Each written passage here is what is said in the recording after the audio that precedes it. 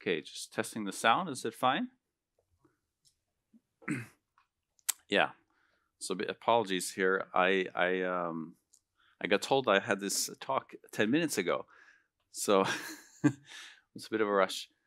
Um, I was scheduled towards the end of the day originally. Um, okay, so the RISC V microprocessor. So how many of you um, actually have used it or any familiar with um, assembly coding? Okay, so quite a lot. And how many how many have um, used any RISC V before? Okay, so that's good. Um, so my name is uh, Erik Engheim. I work for a company called 60 North. Uh, we do consulting work, and actually, what I normally do is create educational content for a programming language called Julia, um, which is a new language for machine learning, um, data science, high performance computing. So that's a bit different from what I'm going to be talking about here, which is more about sort of a hobby interest of mine for for a long time. I started programming assembly codes on the 68K uh, Motorola 68000 back in um, the late 18 the late 1980s um, on Amiga 1000. Um, not quite that probably long ago. So I tried different architectures, and I think RISC V is a kind of it's a quite exciting new architecture to work on.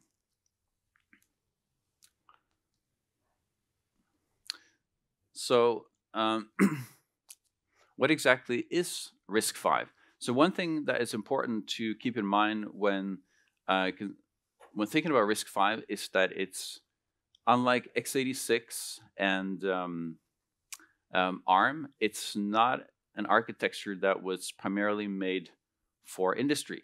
So those other architectures um, are typically used by and made for industry. Um, RISC-V, in contrast, comes out of university from Berkeley, and it's actually the fifth generation of the very first RISC processor, RISC-I, that was created by a group um, I'm not sure if it was led by, but David Patterson is a pretty important name in this history. He was the one that coined the term RISC reduced instruction set um, computer. So this was back in 1981, and this has been going through several generations um, until they got to RISC-V. Um, and in, with RISC-V, they wanted to create something that was usable um, both for academic purposes and also for industry. So it should be something that you can implement that gives you high performance in a realistic setting. But it can al also meet goals like for students, you don't want a too complex architecture that is hard to learn. You want something where uh, students can realistically implement a simple RISC processor in the first semester. So for me as a hobbyist, this is kind of an interesting thing with RISC-V. It's something that if you're interested in um, playing around with microprocessors as, on a sort of hobby basis, this is a very interesting architecture to develop. um, you often see RISC-V pitched as a sort of Linux for um, microprocessors. And I think that this is actually a little bit a bad kind of characterization. For me, that was actually what made me not care that much about looking at uh, RISC V uh, initially um, because it sounded like it was just a kind of a Me Too microprocessor where um, it was just open source but just did everything else like um, like everybody else. I think a more important part of RISC V is actually that it's a modular design, which is not common in the industry. Um, so RISC V is composable extensions unlike what you find with x86 and ARM. So I'm going to use a bit of a silly analogy here to try to um, explain what we mean by that. We can imagine something like x86. It started back in 1978 with sort of one menu. Here you got 80 instructions. And then customers want more. So they're adding more to this buffet of instructions. And they keep adding and adding and adding. And so eventually they have 1300 instructions um, so they've been adding three instructions roughly every month since 1978. And actually, this is a low number because this is for 32 bit. For 64 bit, it's around 1500 instructions now. and it isn't actually all that much better for ARM microprocessors. 32-bit uh, is about 500 instructions, depending a bit on how you count it. Uh, for 64-bit, it's about 1,000. Now you can contrast that with RISC-V, which is just 47 instructions that you have to implement. Just reading the specification would take you about uh, six hours. so what is the difference? Why so few instructions? And not because risk Five is more like a menu. You get to choose. I just want to buy the fries and the apple cake, and you only pay for that. And what do I mean by pay? Well, I mean in terms of transistors. You're only paying for the features that you're using, and you don't have to pay for all the other stuff that is accumulated over time. So these two sheets, let me see if I have this sheet here.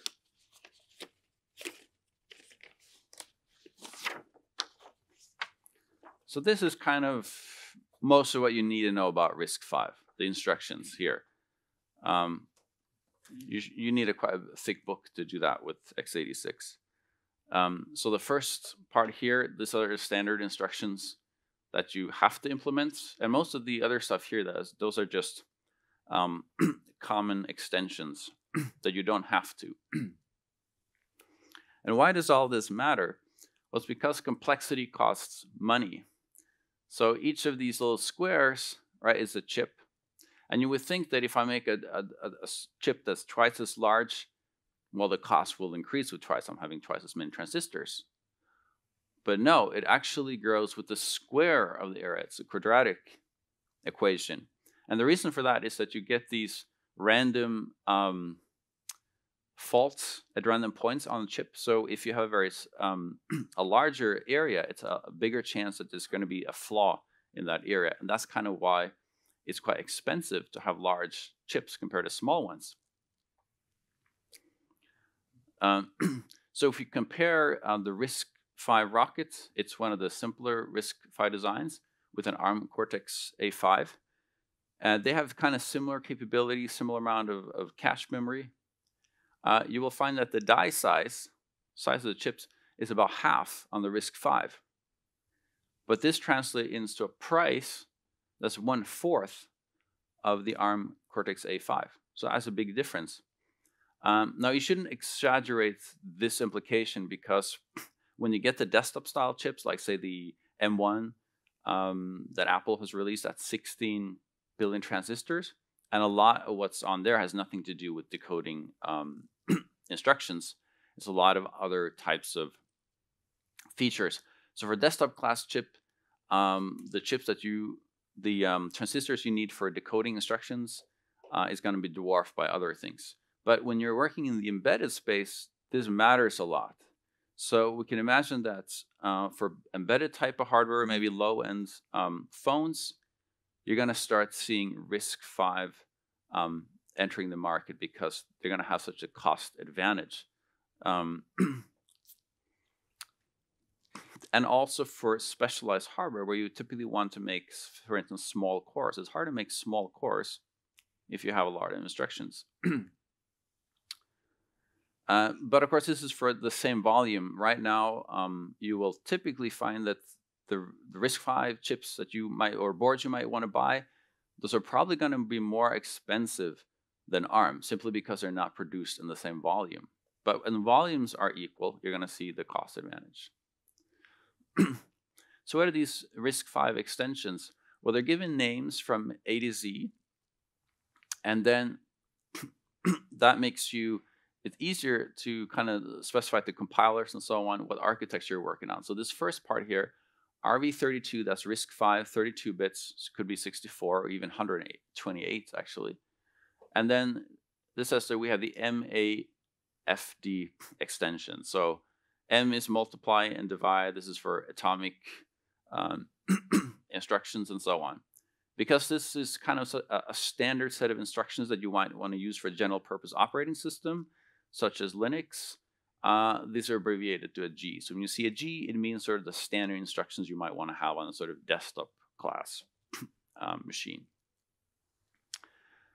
the way you deal with this at runtime is that all the RISC-V processors have to implement this command status register, and where you have a bunch of special um, functions that you can read. So on the sheet, you have this uh, section here that explains the instructions that you can use to read and check what extensions does the chip I'm currently running on actually support. you don't have to necessarily do this. It is practical, say, uh, you are doing a lot of matrix multiplications, maybe you're doing something machine learning task, and then you can check, do I have the uh, vector extension, for instance? If I have that, I can take a different code path and I can compute those um, matrix multiplications a lot faster. But you don't necessarily need to set that up because all the instructions that are not supported get trapped. So that is sort of like an interrupt. You will jump to somewhere else in the code in the operating system, and you can simulate those instructions that are not supported. That means that given you have operating system set up for this, you can your program can in principle run on any RISC V microprocessor regardless of the extensions that it supports. Uh, final thing to, to note about extensions is that they're frozen. That means that once it's been ratified which instructions are going to be in an extension um, and how they're going to work, this is never going to change. Um, so you can't, um, so this is good for backwards compatibility, right? If you've written code to work with one particular set of extensions, um, that's going to continue working for a long time. This is also an important goal for RISC-V.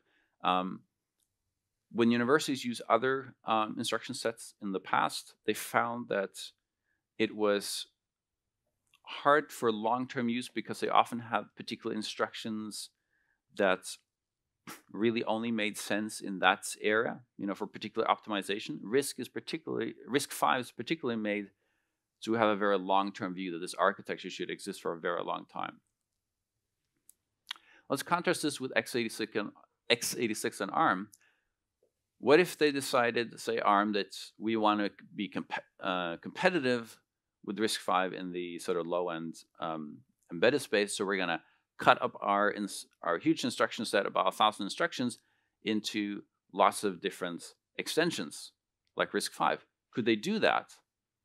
Well, not really, because you have all this legacy software which is not written to take that into consideration. So if they reduce a new chip with just a few extensions, the existing software wouldn't run, right? Because it doesn't know to check any kind of status register. So it will just crash. And you don't have an operating system. Existing operating systems are not set up to, to trap and simulate uh, other instructions. So unlike RISC, you don't have the RISC-V, you don't have the um, the ecosystem, the tools, and the practices and so on to support this. On RISC-V, there's a suite of, of tools to verify that you're following the specification, that you're checking extensions, and so on. Now, you could do it to the existing instruction set architectures, um, but it's not very much value to say, okay, we're going to have an extension for these 20 new instructions and you already have uh, 1500 instructions that you have to implement. so just to clarify some of the, the terminology that I used here, um, we got to separate between instruction set architecture and the microarchitecture. RISC-V is primarily a instruction set architecture. That's what it defines. That's an, it's an open instruction set architecture. And that's sort of like the interface to your microchip. Whereas the microchip, uh, the microarchitecture is how it actually works internally. So as an example, um, an AMD and an Intel chip, right? They can both run the same code even though they have completely different microarchitectures. And that's because they have the same instruction set architecture. So the ISA that is what you see as an assembly programmer or as a compiler writer.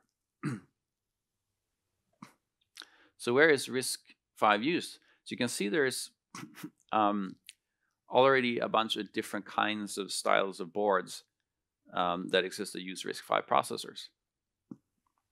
Um, people talk about that with all these extensions that you can optionally add, and, and uh, companies can add their own um, custom extensions, will we just not end up with this kind of jungle where with incompatibilities and, and, and a mess? Um, it's important to understand that that makes that makes some sense for if you're making something like more like a personal computer but those boards are probably going to standardize on the G extensions. But for a lot of other things, it's specialized hardware, um, such as accelerators, and you're not going to be running all sorts of software on those. So compatibility is not as important there. So you might still in the future have x86 and um, ARM sort of where that's the, the main system, but you might have all sorts of uh, extra hardware accelerators that are actually RISC-V processors. Another thing where you're starting to see RISC-V appear is for the Internet of Things. So this is uh, one example, Sipeed Maixduino. It has neural network processor, machine vision, you can connect cameras, and so on. I think this one is quite interesting. This is uh, from Esperanto Technologies. So they have this system on a chip, this one here, 28 billion transistors. and it has uh, four Maxion general purpose uh, processor, RISC-V 64-bit. Um, and on these you can run basically like a Linux operating system, um, general purpose operating system. And there you can prepare, for instance, machine learning tasks, um, maybe heavy matrix multiplications. And the Maxions can dish that out to their minions. So that's a 1088 uh, cores that each have implemented a, a vector processing instruction set. So those are very, very small um, cores um, so they are quite simple, but they do one one particular thing very fast, like vector processing, and that's why this manages to have really high performance, 100 to 200 um, tera operations at less than 20 watts. So just these minions, thousand, uh, the 1088, I think they are less than 10 watts. Um, so comparison, the M1 that Apple released, that was about 15 watts, I think. So to understand a little bit more of the kind of technical details uh, when going through, I'm going to go a bit through RISC-V assembly code. Um, if you want to get into this, this Cornell RISC-V simulator is a kind of easy one to get into. It doesn't support all that many instructions. You can see them down here. Um, you got all the registers here, the code that we're pasting in, and here you can see the code to execute. so if you're interested in trying this, you can use this link, take a photo of that or something. Um, so what I'm going to go through to try to explain is this simple counter program. It takes a value in the this X1 register that you will have to set yourself, and then it, starts counting down. Um, the instructions for um, assembly code tends to use these kind of abbreviated words like add, add, add I, which is add immediate, SW store word, and so on. But we're going to go through uh, these in more detail. you also have in RISC-V a number of pseudo instructions. Um, one of the reasons for that is that because the instruction set is so compressed and small, they try to be clever about it. So in, uh, each instruction can be kind of used in different ways. That can hurt readability a bit. So you have pseudo instructions which are just really just translates into actual ISA instructions that kind of convey better what they're for. So this is load immediate, which is actually what you intend with the the add that you saw earlier. So central comp uh, central thing for um, microprocessors to understand is registers. And registers is, I think this is kind of interesting from a historical perspective. This is a very old idea. This is an old mechanical calculator, a so-called arithmometer, um, actually a Russian one. And this has three registers here. Um, it works by you're pulling down these different dials here to select digits to get a number, and then you crank here, and it adds to the accumulator down here. and you can actually move this whole thing um, left and right a number of digits. And when you're adding, it puts the numbers down on um, shifted over. So this essentially lets you multiply by 10, 100, 1,000, and so on. Um, so this one doesn't directly support multiplication, but you can you can kind of achieve it by um, doing these shift operations and additions. And you can I think you can subtract by just cranking the other way. And what's interesting is that this is exactly what the arithmetic logic unit in a microprocessor does. It only does those same operations as this old mechanical device. It can add, subtract, and shift to the left and right. Of course, this uses binary number systems, so it's it's going to shift in 2, 4, 8, 16, and so on, rather than 10, 100, and so on. Um, and of course, for registers, we have a lot more registers than on a mechanical device. On RISC-V, we have 32 registers. One of them is a bit special because it's always zero. It means whatever I write into it, I'm always going to read um, zero out. Now, this sounds maybe a bit nonsensical, but it's actually, if you start playing around with RISC-V assembly, you will find that this is actually very practical, that you have a register that you always know is zero. I wish that was actually in a lot of other architectures. Um, when you're programming RISC-V, uh, you typically don't use those X names for the registers. You tend to use these aliases for the same registers. And that's because when you're when you're programming, for instance, I make uh, implement a function that's going to be called from a high level um, programming language, and I want to be able to pass arguments. How do I do that? Well, you follow typically conventions. There's a binary um, API, um, and this says that these registers from A0 to, to A7 that's where you pass your arguments. And the return value is, is in this A0 that you can see here. Now, when you um, call a function, you're responsible for um, restoring or making sure you don't overwrite registers that the calling program might be using to do different calculations. This can be cumbersome to have to do that uh, for just simple calculations. So there's a convention where these T0 to T5 are used for, uh, um, you don't have to preserve those. I'm just going to take some water to clear my throat here.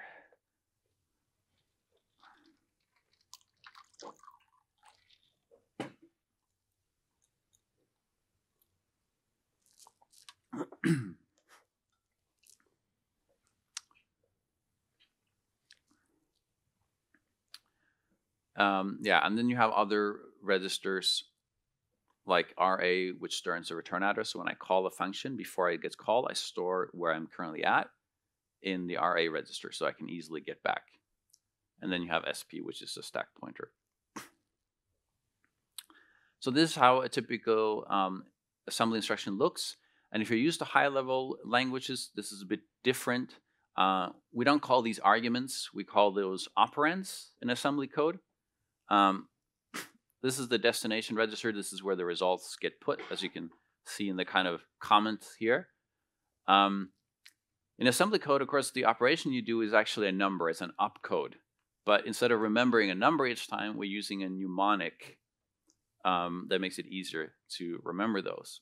and you don't, you can't typically have sort of free number of arguments the way you have in high level language.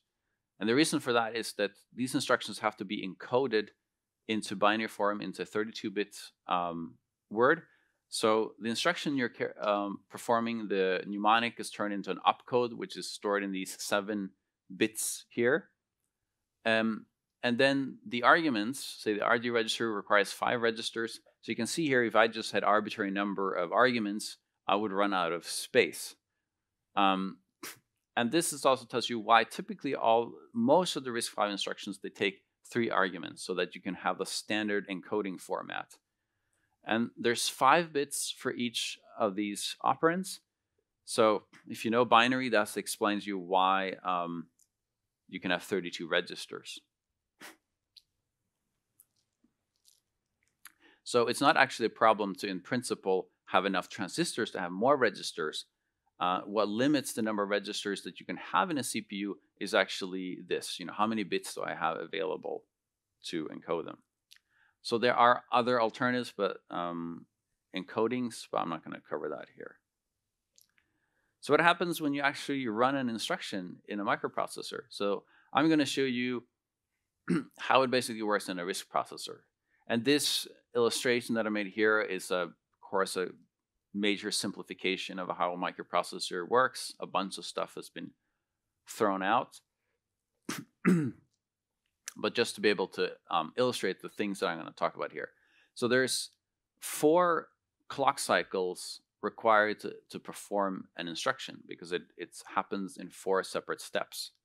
For something like a CISC processor like x86, the way it traditionally worked, this would be a lot more complex. But RISC has tried to standardize into four uh, clearly defined steps in how an instruction is performed. And that has to do with um, a concept that was kind of pioneered with RISC processor, which is pipelining.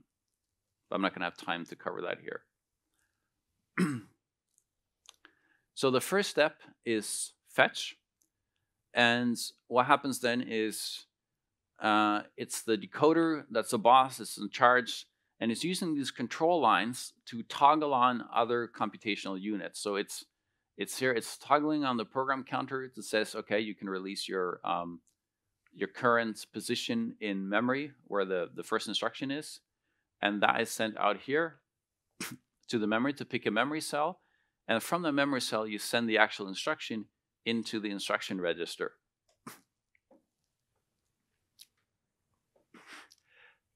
Next uh, step is decode. And here, um, the instruction goes into the decoder, and based on what it finds in the instruction, it's going to toggle on different control lines. It says what what pieces inside the CPU is going to be enabled. So this is going to say what are the two registers I'm going to pick as input to the ALU, um, and what operations I'm going to enable. I'm going to do an add or a shift, and so on. so that it's uh, only a third step where you're actually executing and doing the, the thing you want. So say we're doing an addition. At this point, we're selecting the where the data from the two registers that we have selected goes into the ALU, um, and the result comes out and gets stored in the uh, results register.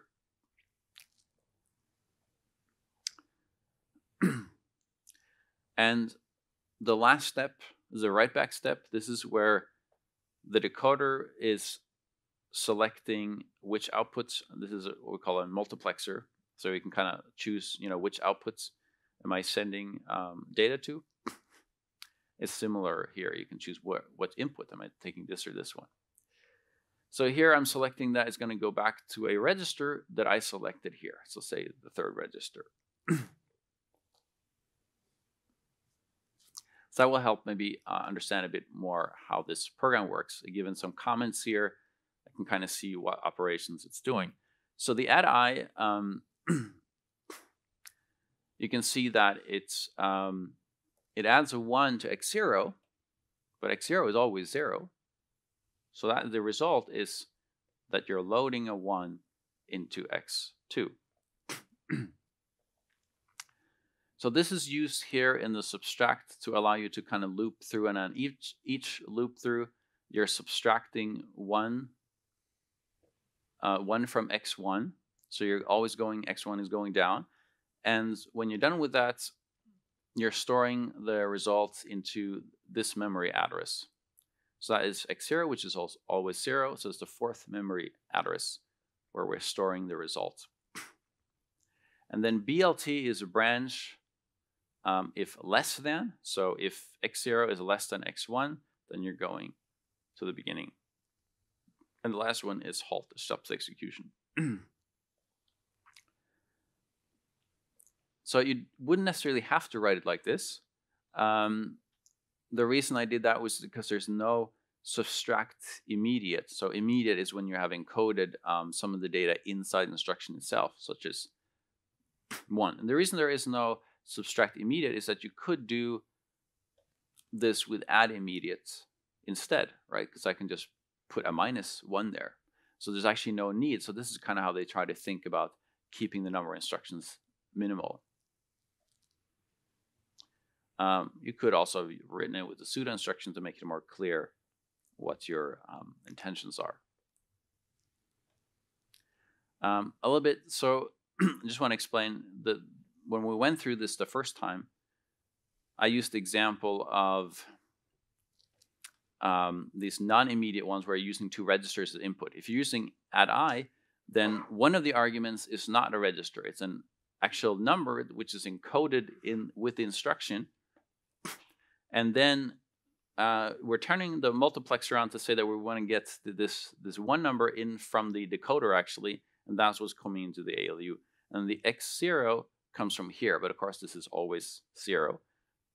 and then we get a result here. Store word is a little bit different.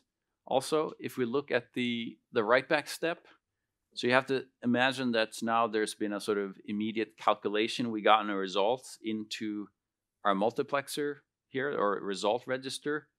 Uh, but rather than sending it back into a register, we're toggling the multiplexer and saying we want to use that on the address bus. So this 4 plus x0 is used to pick a memory cell here where we're storing the x. The x1 register gets stored into that memory location. so with this background, we can talk a bit about micro operations, which is kind of useful background information to kind of cover the thing that I think is most important with RISC-V, which is uh, how it deals with compressed instructions and macro operations. so a micro operation, then you can imagine the architecture is changed a little bit. Um, it's do one thing, typically in one clock cycle, uh, and typically have one instruction turns into multiple micro operations, or just one. On RISC architecture, will turn typically to one um, micro operations. On uh, CISC, hardware like an x86, uh, this can turn into many micro operations. And an interesting thing, despite the fact that they're called micro, they're actually not, the instructions are not small. They're actually quite uh, large in terms of bits. It can be 100 bits or something, one micro operation.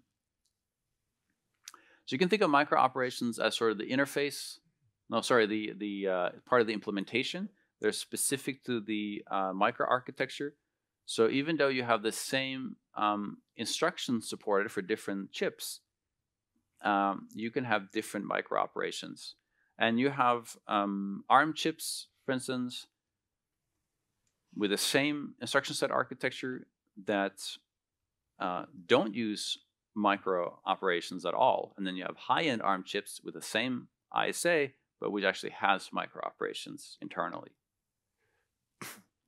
So what they actually do is normally you know, these these control lines, right? You're you're toggling on these. Normally, uh, when you're decoding an instruction, you are um, you know figuring out which of these bits to to flip to to do toggle on, and with micro operations, you use a decoder to kind of can all these uh, control lines that you're toggling on. So, you know, you have a one when you toggle it, zero when you're not toggling. And that's why it adds up to being all these number of bits, you know, that you can end up with a hundred bits because there's so many different parts you're going to toggle on and off inside the uh, processor depending on how complex the microarchitecture is. Now, it doesn't make very much sense with the architecture I just showed you, at least for, for RISC, to have microoperations. It does make sense for a CISC processor because it allows you to make a CISC act a bit like a RISC processor internally for things like pipelining. But for this to make sense for a RISC processor, you have to have a superscalar microprocessor. And that means that you have multiple decoders that are running at the same time that are decoding um, several operations in parallel. And this gets put in the uh, microoperations buffer. And you're doing some kind of analysis where you're checking instructions that come after each other. Um, are the results related to each other? if they're not, so you have a multiply and an addition, then I can run the multiply instruction in parallel with the addition. and so I can get more than one instruction carried out each clock cycle. now, how is this different from having multiple cores? Well, if you have multiple cores, you as a programmer have to see, okay, you have to handle multiple threads, right, to get the extra performance. With the superscalar microprocessor, you don't see multiple threads. You just see one thread that's just running faster. And this is made even faster if you have what's called an out of order superscalar microprocessor, where you can rearrange the instructions so that you can run them more easily in parallel. Um, the problem that this requires a lot of extra silicon because you have to um, arrange the instruction results back afterwards to make sure it's not in the wrong order. So here is the um, the key thing that I think is interesting with RISC-V. Um, compressed instructions and what we call macro fusion is something that has been developed over time and has been added to x86 processors over time. The benefit when designing RISC-V is that they knew about these things already and can take that into account when designing the microprocessor. so if we if we take a step back and consider uh, CISC processors like x86 complex instruction set computers that have variable length instructions, um, they started using micro operations um, as a way to deal with the fact that they were getting outcompeted in the 90s by RISC processors. And by using microops, they can kind of simulate a RISC processor internally because they, they cut up their complex instructions into all these simple RISC-like instructions uh, that take uh, that can then easily be put into a pipeline, which is really only possible if you're dealing with instructions that have kind of the same number of clock cycles. well, there are exceptions to, to, to everything, but in general, you, most of your instructions should be similar number of clock cycles for this to work well. so you can see you get, well, variable number of instructions coming out, and then you get some number of micro operations coming out. So the, this meant that for a while, CISC actually got the upper hand on RISC processor uh, using microops because variable length instructions enable them to have programs that took less space in memory. so this means that your cache, you can utilize cache more efficiently, gives you better performance. So what's the RISC counter move to this? Well, that is compressed instructions. So that means that you have two instructions compressed into a 32-bit word. So if you know the ARM architecture, there is two compressed instruction sets, uh, thumb and thumb 2. Um, this had to be bolted onto ARM after the fact. So ARM actually has to do a mode switch and have to have separate decoders. It treats compressed instructions as a sort of separate instruction set architecture.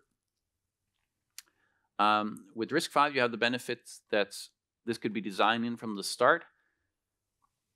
so the um, the format and the instructions and so on has taken that into consideration that they should support compressed instructions. It's just an extension. So if you have the, that extension, you can support it. And it's actually very cheap to implement. It's only 400 logical gates like AND or NAND and so on gates that you need to implement compressed instructions. And it's not like a SIP operation. This is the decompression is very fast. But of course, it's not it's not magic. Uh, you can't take every possible instruction you have and compress them. So instead, how it works is you take the most commonly used instructions that most affect your performance, and you have compressed versions of them, but only if you have two operands. Why can't you have why can't you have three operands when uh, you have a 16-bit instruction? Can you think about that? So with three operands, because there's five bits per operand, you would consume 15 bits just to specify the operands. Um, and you only have 16 bits, so that would leave you one bit to say what operation you're doing. So that's not going to be enough. Here's something that seems a bit counterintuitive, uh, and that is macro operation fusion. this is sort of the opposite of what microops is about. You're taking in uh, fairly simple instructions and you're getting more complex ones out. So it's kind of like taking RISC instructions in and you're getting CISC instructions out. How does that make any sense? Why do you want to do that? Well, it's actually Intel that discovered this, that um, some of the instructions are just so simple that they're just kind of wasting resources. You can actually they could see that there's actually a possibility to encode more um, functionality within one micro operation. So the idea with micro-op fusion is that you take instructions that are just too simple and turn them into instructions that are more complex, but not so complex that they are like a CISC construction. so the benefit of that is, uh, of course, what decides performance is, you know, how many micro operations that you do. So by having fewer micro operations, uh, you can get better performance. So yeah, to clarify, these macro operations, they do get turned into micro operations later, just to show you here. So this is what I think is sort of the RISC-V genius. So instead of having all these complex instructions supported, you can just put together two simple instructions in any kind of combination, and those two simple instructions are kind of like um, a complex instruction. So you have two compressed, uh, so four instructions here that are just compressed. So there, it looks like there's three instructions coming in. They get decompressed into five instructions, and then you do macro op fusion, and you get three macro operations.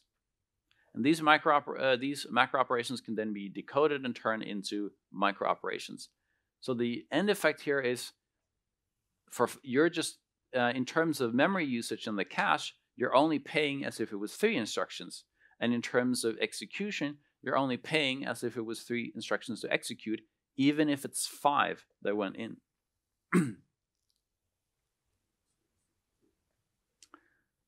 so um, to give a concrete example of how this works, um, here's a um, some C code, very simple thing um, get index, you're getting an element uh, at index i in an array. And this is used often as an example of why you should have complex addressing modes, which is kind of used as a criticism typically against RISC-V because they don't have that. So if you want to perform this with Intel um, x86, the code would look something like this. I'm not going to cover that one. I'll, I'll talk more about the ARM one instead. So an ARM ARM is not sort of as RISC as something like RISC-V. ARM has instructions that look a bit RISC-like, and the one example is kind of addressing modes. So this is LDR is a load register, and it takes all this to compute an address in memory to load. You can see an explanation of it here. So LSL is logical shift left. So you're shifting two bits to the left, so you're the same as multiply by 4. And why is that? Well, it's because um, R1, that is the second argument, this one. R0, that is the uh, first argument. So because this is an integer, integers are in four byte boundary, so that's why you're multiplying with a four. So you're you're taking the the offset for the index and you're adding that to the base address of the array, and then you get and then you're looking that up in memory and storing in R0. R0 is where you return values for a function. And then finally, bx is branch and link, and then the LR is the link register, the register that stores the return address.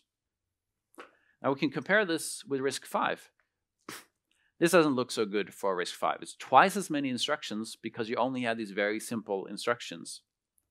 Uh, so you're going to take twice the memory. It's going to uh, twice the sort of the time to execute. in theory. So the first thing we got to do here is shift uh, left logical immediate. That's this operation shifts the A1 register. So the A1, if you remember, that's the second argument of function. A0 is the first argument. So that this is the the i. We're multiplying that by four. then we're adding that to um, the the array pointer address. Then when we have this new address, we're using that with a load operation, load word, where we're using that as input. And then finally, we're returning. Ret is actually a pseudo instruction, so it's actually short for this. Jump and link register. It actually does two operations. The first is a no operation because it goes to x0, so only care about the second part, which is to take the, the RA register plus the offset there, zero, and put that into the program counter. And that has the effect of jumping in your program.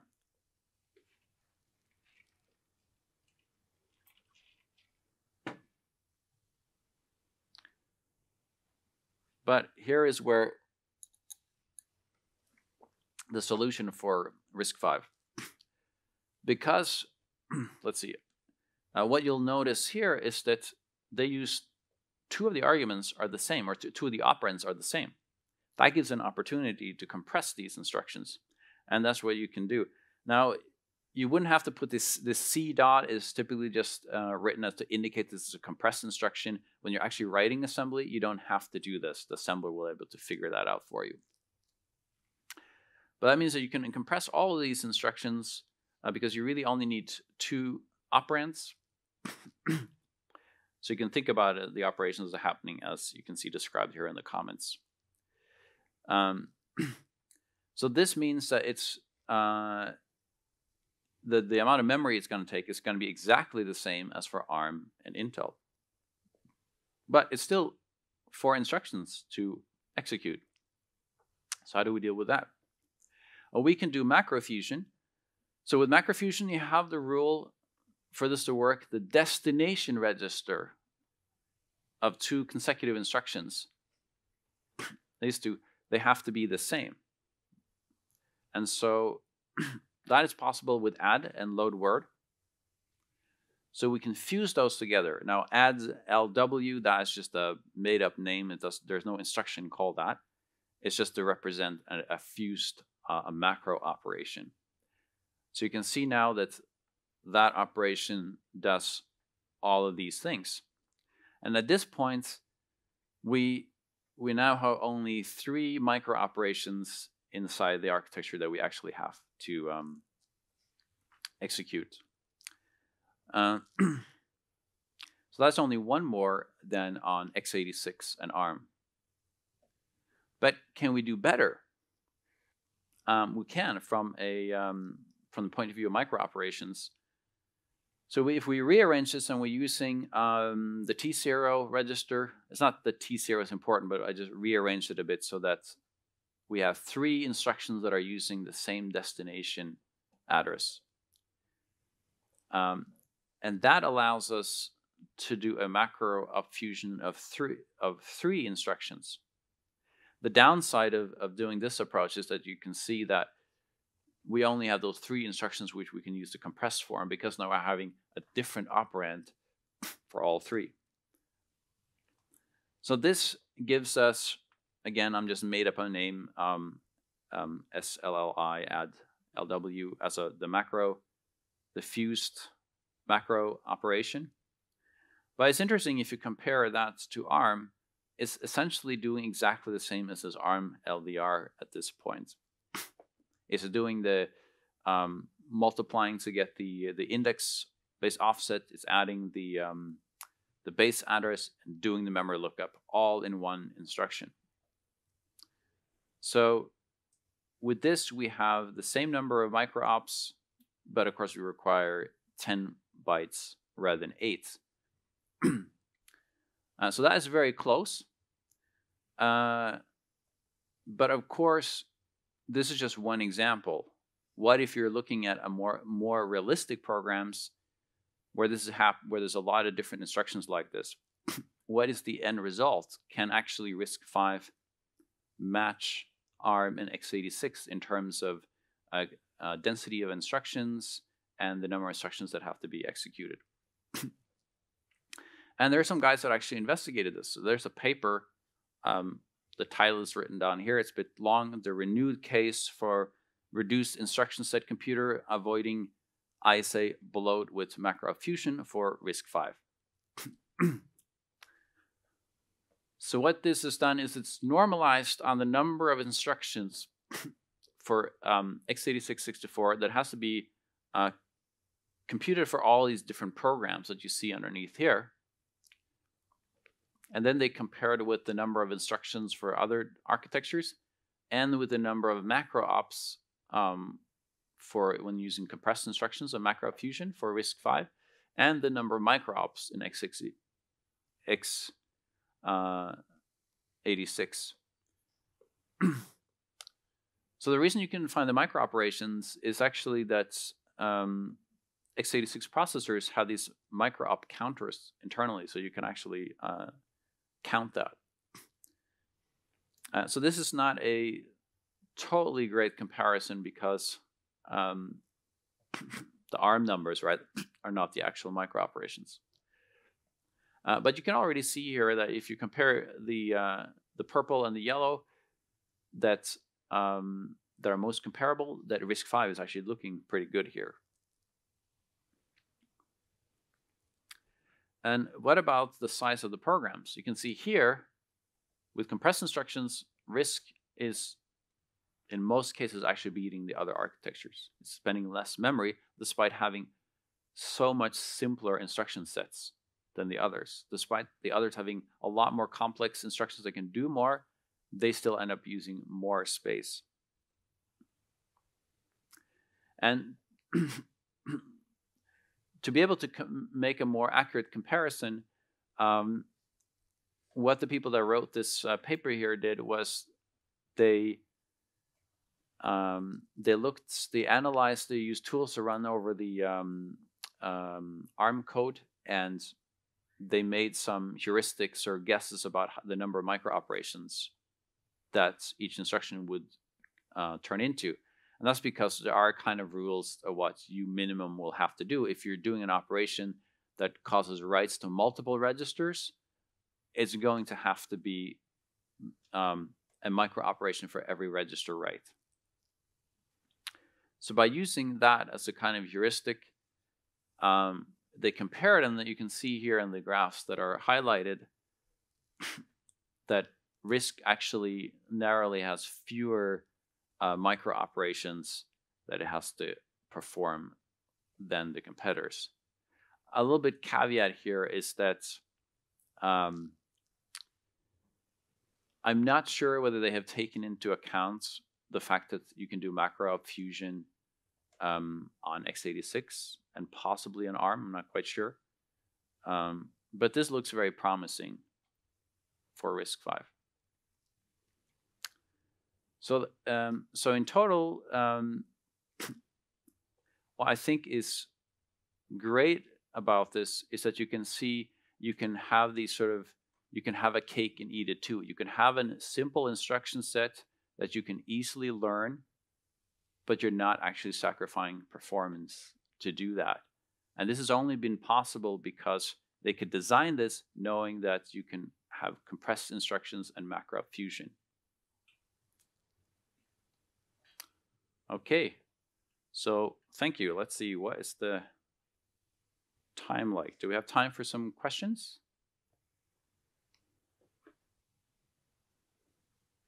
Yes.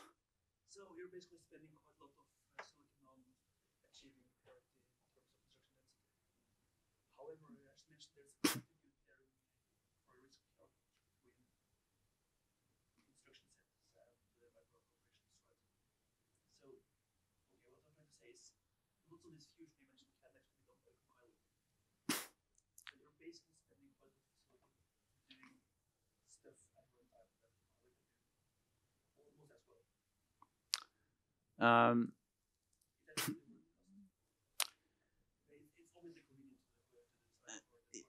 yeah. Well, um, I mean, they've always been able to do that, right? Um, but Intel has found this to be useful. They were the ones who started doing it. Um, So-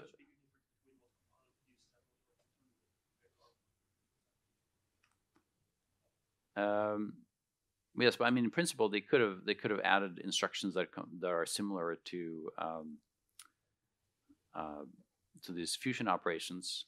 Um, I think the the downside with uh, adding lots of because you can imagine this, you create a, uh, an explosion of permutations. If you know every two or three instructions that you can put together in different ways, uh, that's going to require um, quite a lot of different instructions to decode. So you're you're spending a lot of your encoding space, and this is one of the things that RISC-V uh, designers considered important is not to paint yourself into a corner by uh, by using up all your encoding space. That's what ARM did, for instance, uh, originally with their 32-bit architecture. So they couldn't add um, compressed instructions after the fact. They they spent their encoding space and they want this to be a long-lived instruction set architecture. What is going to be efficient in 10 years to do? We don't know. Maybe macro fusion is replaced with something else. we don't know.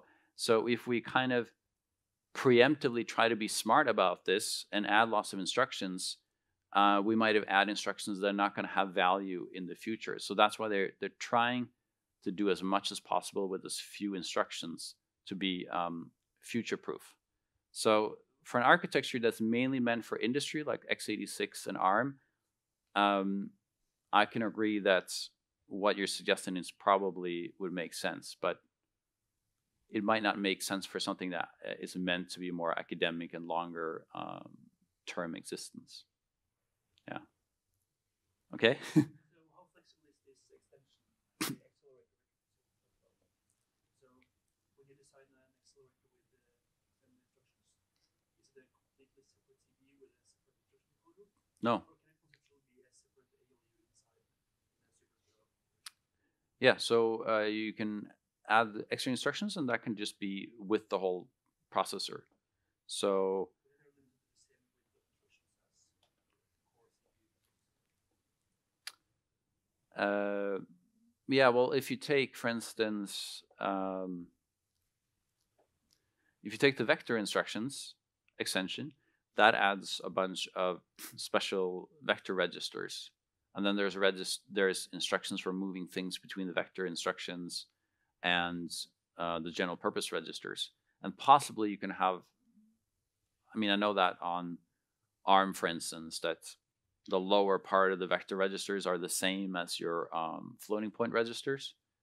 You could possibly do something like that. Um, so th- this is actually part of the benefit that people see, I think, with this is that um, you can kind of merge the accelerator part with a more sort of general purpose um, uh, kind of CPU. Um, yeah, so that that's that's they're quite flexible. I mean, if you look at the um, this Minion and Maxion chips, you have the Maxions, which are quite general purpose, but those Minion ones, right? They have just um, you know the base the base instruction set implemented, and the rest are kind of these uh, vector extensions, and that's all in one chip. So it's a very it isn't even though it has these RISC processor, is not really a general purpose CPU. Those minions, they're special purpose chips. But when um, Esperanto was designing this, they they started those minion chips were origi- originally were just um, special purpose instructions, Uh, but they found that actually creating, you have to do these kind of general purpose things even when you're doing specialized hardware. And they found that it was actually quite a lot of work to get that right, and you didn't have the tools and so on. And so they they tested RISC-V and they saw, hey, they've done a lot of the work for us. We're just going to build on that. So I think that's probably what many uh, hardware makers are going to increasingly see. Any uh, other questions? Okay, well, thank you.